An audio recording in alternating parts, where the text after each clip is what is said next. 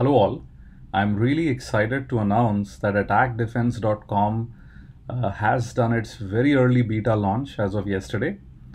Uh, Pentester Academy students can go ahead and you know click on try our online labs and you should be automatically logged into the portal.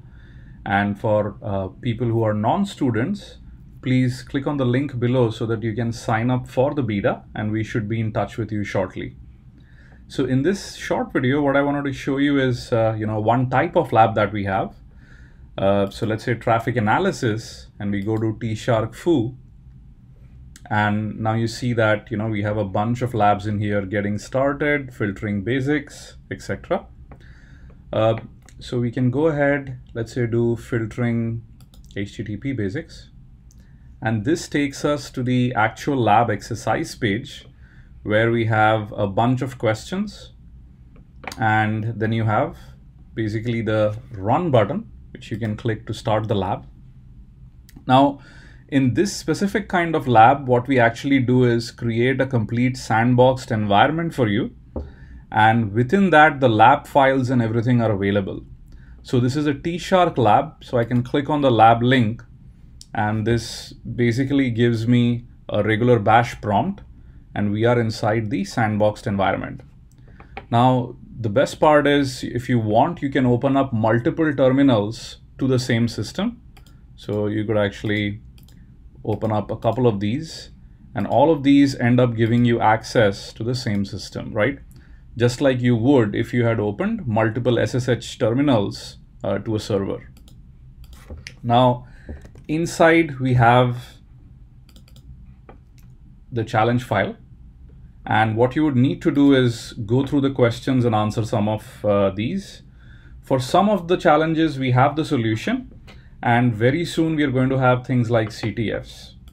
So let's say we wanted to read HTTP traffic.pcap using T-Shark.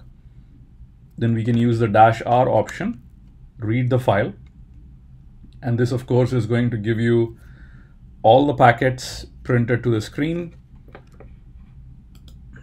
now, if you proceed through the labs, you know, you can use different filters and whatnot. So I'm going to cheat here. Uh, so let's say which IP address send get requests for New York Times. And I'm just going to go ahead and cheat and pick up the solution. So here it is. Here is the T-Shark command. And let's actually try this out in this terminal. So what this does is it basically sets a filter for HTTP request method equals get and then the host equals www.nytimes.com. And then it basically tells T-Shark that we are only interested in the IP.destination field and to only extract that whenever this filter is being matched. So we can run this. T-Shark goes through the packets, find finds appropriate matches and then prints the IP address. Of course, this isn't probably the best way to print it. We are getting duplicates. So all we need to do is pipe this to sort and pipe that to unique. You know, two commands which are available pretty much on all Linux systems. And there you go. We get the answer, which is 170, 149, 159, 130, right? Now, the best part really is we have other labs as well, like web applications and Python scripting and whatnot. In a series of video, I'll introduce you to many of them. So in this one, you can clearly see any terminal-based lab uh, can be done on attackdefense.com.